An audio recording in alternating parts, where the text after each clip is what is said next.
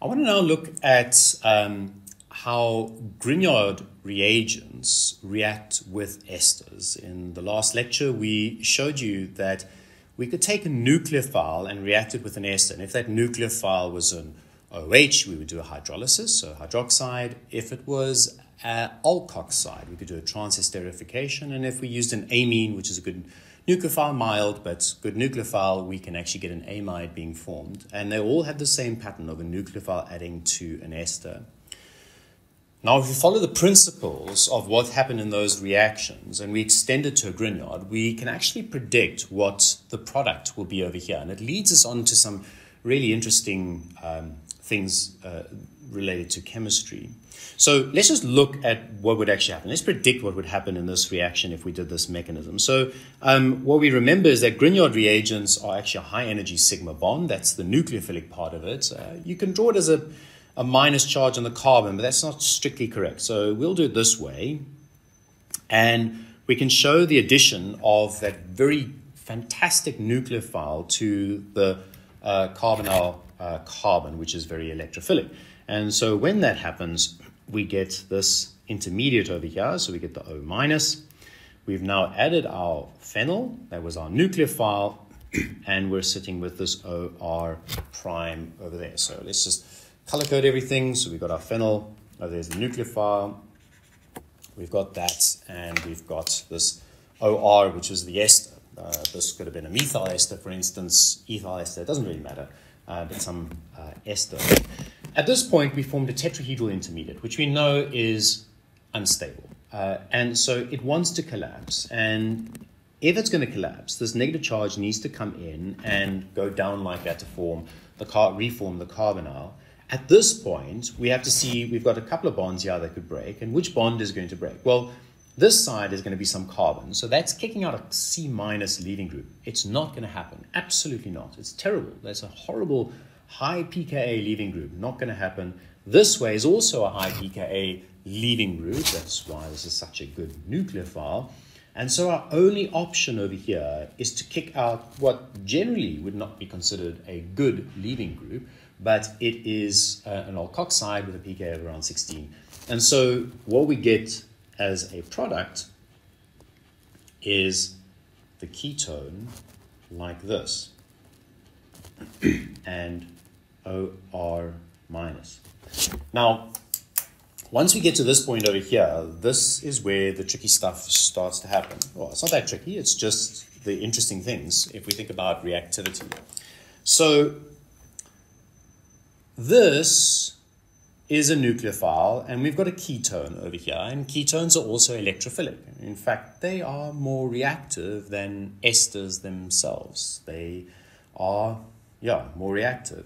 Now, if this O minus adds in over here, we're going to go back to this. But the point is, this is not stable. So we're stuck. This, the reverse reaction could occur, but it's not going to occur because, uh, in any meaningful way, is because actually this is the more stable. The ketone product is more stable. The problem is, is our Grignard reagent itself you see, the Grignard reagent, when we do a reaction like this, this, this reaction has billions of these molecules and billions of these molecules. Well, more than billions. I mean, it's just, it's an incredible amount, uh, depending on the scale of reaction that you're doing. But it's a huge number.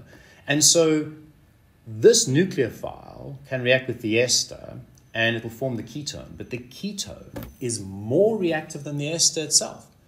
So in the presence of this Grignard reagent, even if you tried to add just one equivalent of Grignard reagent, the product is more reactive.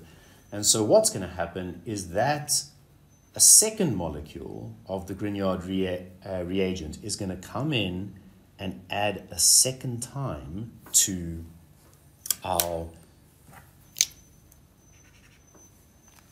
new ketone that was formed and our product is going to be the initially the alkoxide, but once we protonate that after doing a workup, we can assume that a workup has happened over there, but I'm not going to draw it in um, at the moment.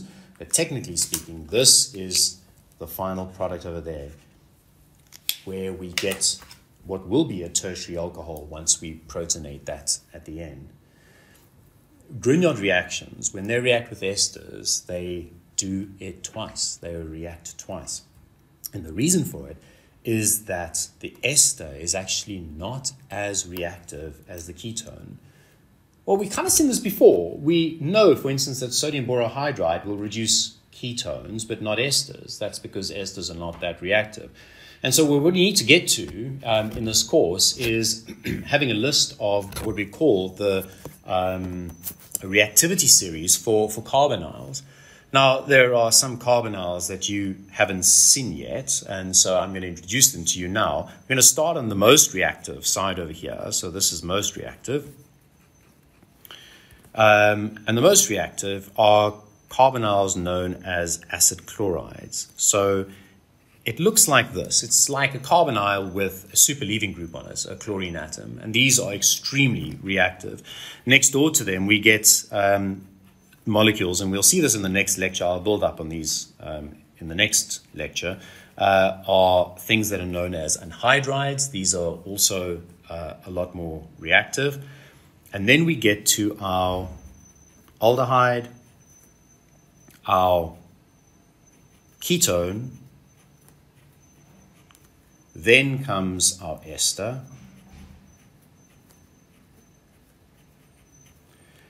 And then the extremely unreactive one is our amides. I'm going to put an R2 over there, could be an NH or something like that. So, so in terms of reactivity, these are super reactive, and then we move our way down like that over there to the least reactive on this side. Now, the reason for this reactivity um, has to do, uh, there's a lot of different features that are on here. Um, the first thing is that uh, if you compare this to say the aldehyde over here, you've got a chlorine, which is more electronegative. So it's pulling electron density away from the carbonyl, making it much more electrophilic, which means that any nucleophile is going to want to get in there super fast. Uh, and when it reacts, we've got a good leaving group on it, so it'll react fast. And we'll see some examples of that in the future. This also has a leaving group on it. It's actually a carboxylate, which is like a carboxylic acid. And so for the same reason, that is also quite an electrophilic uh, center over there. it's kind of a tune. That's why I said this one is way more reactive than this one over here. But it is is more reactive uh, than, say, an aldehyde, which has nothing on it, just got a hydrogen over there. Ketone is less reactive than aldehyde. We've dealt with that in previous lectures because of steric hindrance as a re reagent or reaction, sorry, a nucleophile. Um, uh, adds to a carbonyl, it has to go through a tetrahedral intermediate, and that means that these two R groups come closer to each other, so it's steric hindrance. And over here, when you've got a straight ester like that, the lone pairs of electrons can overlap with the carbon, uh, the carbonyl pi bond, the antibonding, in fact, and that actually raises the LUMO slightly. Um, you can go and look in your textbook uh, about that. It's a detail that's maybe a bit high grade, but uh, it raises the LUMO, so it makes this less reactive. And of course, the lone pair of electrons on a nitrogen are much higher in energy, so that overlap that occurs on an amide is almost complete. In fact, amides, because of that, tend to be kind of flat. They, they, don't want to spin around around the sigma bond over here. In fact, it's if you protonate an amide, it actually wants to protonate on the oxygen because it's more pushing electron density in towards the oxygen like that, just because of the, the excellent lone pairs um, on the nitrogen. So this is our reactivity series over here, and that explains why when a Grignard reacts with an ester, we have to do a double addition because the intermediate is way more reactive than, uh, than the product. So how do we solve this? What if we have to do a, a a reaction where the Grignard, we don't want to get the alcohol. We want the Grignard to add just once. So we want to get to this point over here. This would be a very useful thing for us to do. Um, and it is a challenge because we can't just add one equivalent. Like I said, the problem with adding one equivalent is that once this reaction starts going, the intermediate is much more reactive. So we're going to get this as a side product, whether we like it or not. So it's going to be a terrible way of just adding once. Now, the textbook has a solution which is not a solution, and we really need to just make sure that we are clear on that. Um, the solution is to take the Grignard and add it to a more reactive substrate. So, in other words, the theory is that if you add this to an acid chloride, which is much more reactive, the product is then the ketone, which is less reactive, so we can control that reaction. That is something that sounds nice in theory, but in practice, it is all but impossible to do. Um, Grignard reagents are such good nucleophiles that at this stage over here, uh, it's still going to react with that. And in practice, in the literature, you just do not see that reaction occurring using an acid chloride to form the ketone. Um, there is a solution, and it involves some new chemistry. It involves actually a type of an amide that forms over there. You see, what you're wanting to do is, in order for this reaction to occur, what we want is we don't want this thing over here to eliminate. We actually want it to be held kind of in a stable form. We don't, if we can stop this, say for instance, we can just get that first reaction to occur and the tetrahedral intermediate to be stable in some way, then once we do a workup of the reaction, we add acid and, and, and finish this reaction, that can then collapse and form the ketone. But at that stage, there's no more reagents, so we can only get it to happen once. And this is where we get to the solution. The most effective solution to this problem is using the Weinreb amide. And the Weinreb amide looks like this. It is a type of amide. So we've got this nitrogen over there. But what's on over here is something very special. It's a methoxy. This is the key thing that changes everything in this reaction. So it is a type of amide, and it's got a special name after the guy who did this, Weinreb. Um, and the Weinreb amide allows that intermediate, that tetrahedral intermediate, to become stable. So when we add MGBR like that, and this, remember, I'm just using a phenyl as an example because I was getting tired of all the R groups, but uh, it could have been any kind of Grignard reagent. when we add that, the, the Grignard reagent is going to react with the carbonyl just the same way that we did before, but now in solution, this thing stands still. What happens is that, I'm going to put the phenyl here, what happens is that we get a complex being formed which is stable. So we've got this MGBR, which is going to be connected to there, and this oxygen also coordinates to the magnesium, and we get this stable tetrahedral intermediate. And so at the end of the reaction, we actually end up with this. And what we need to do is we need to do a second step after adding that. We need to do a hydrolysis. So we can do this with adding some weak acid, aqueous acidic. And then what that does is it protonates this oxygen, collapses the salts, and this, this then can kick in and kick out the amide. So the amide will also be protonated to make it into a good leaving group. and our product ends up being the ketone.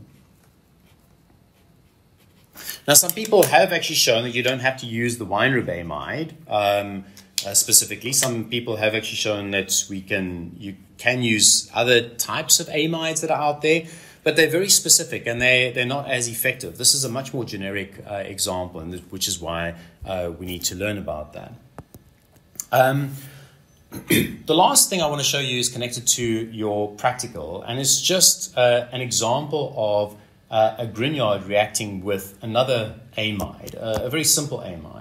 Um, I've shown you you doing it uh, this reaction over here. Uh, generally speaking, Grignards and amides are not that great because they're not super uh, electrophilic. In this case over here, this extra oxygen over there changes everything, and so it makes this a, a little bit easier.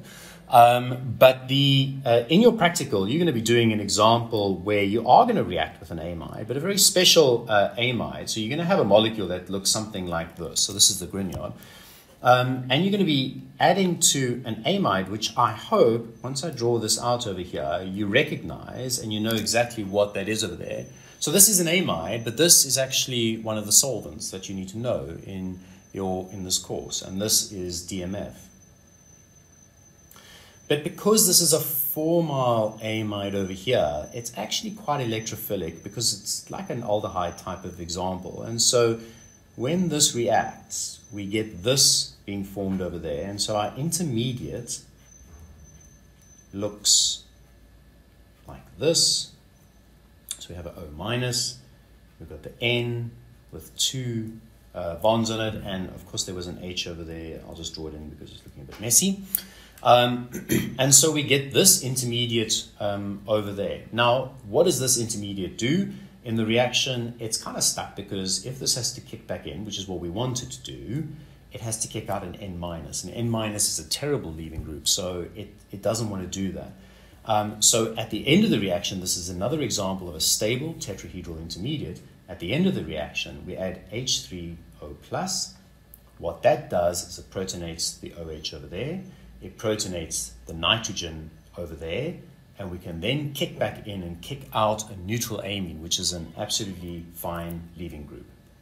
And the product looks like this, and we've kicked off the dimethyl amine, which will be protonated. In fact, if it's under acidic conditions, it'll be doubly protonated, uh, which means you can wash it out of solution. So this is a way of introducing, using DMF, which is a solvent, it's a way of introducing a formyl group at the end of um, uh, from some sort of Grignard reagent. And so this is an excellent uh, procedure, and you'll be doing that in your prac later in the semester.